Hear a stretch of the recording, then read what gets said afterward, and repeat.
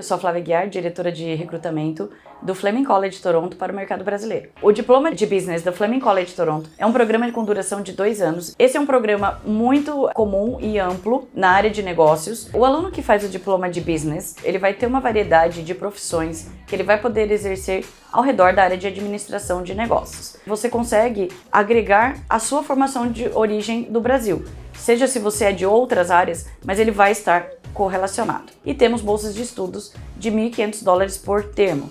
Sendo assim, um curso de dois anos ele vai ter 6 mil dólares de bolsa. Os pré-requisitos para você estudar o Graduate Certificate é que o aluno já tenha um bacharel no seu país de origem, que ele atinja o nível de inglês, seja através de um teste de proficiência oficial, como IELTS, Cambridge, TOEFL, PTE, Aceitamos o Duolingo também e temos o nosso próprio teste de inglês. Todos os programas do Fleming College Toronto, por ser uma instituição pública privada, ela dá elegibilidade ao PGWP, que é o Postgraduate Work Permit, que ele visto aberto de trabalho depois que o aluno se gradua para permanecer no Canadá trabalhando. Se você é um aluno brasileiro interessado em estudar conosco no Fleming College Toronto, peço que entre em contato com o time de consultores da On Education, nosso representante oficial no Brasil, para que eles possam dar sequência no seu atendimento e proporcionar seu planejamento para o Canadá.